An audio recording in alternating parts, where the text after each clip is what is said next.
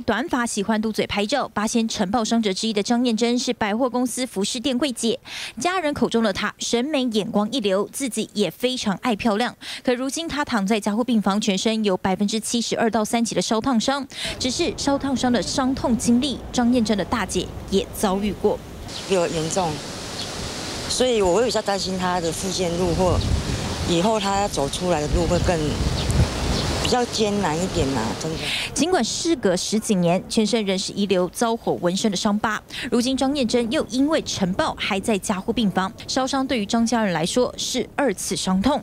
而小猪罗志祥现身替他加油打气，让一度求生意志低落的张燕珍激起求生意志。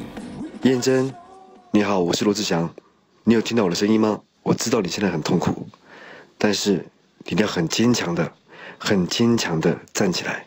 第一次可能听不是很清楚，又重复听一次，然后就泛着泪光。我说：“那你要加油好吗？”